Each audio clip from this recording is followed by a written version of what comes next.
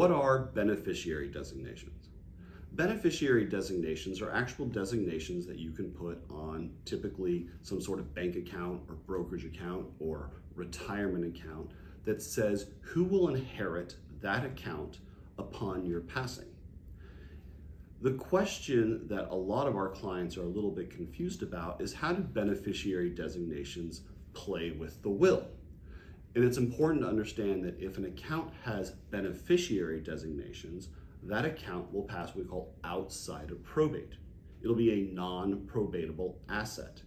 Uh, there is no probate process, and more importantly, the will does not matter.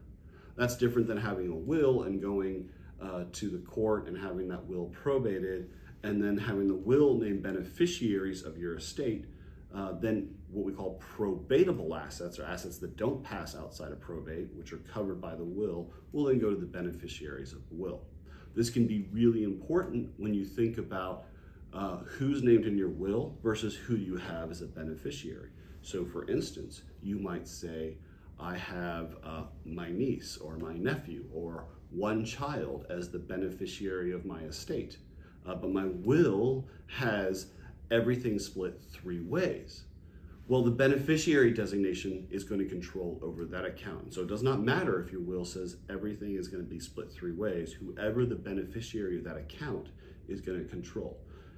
What that means is it's really important to speak with an estate planning attorney and go through all of your assets and all of your accounts and all the beneficiary designations in the will and to make sure everything harmonizes together so that your wishes at the end of the day will actually be implemented.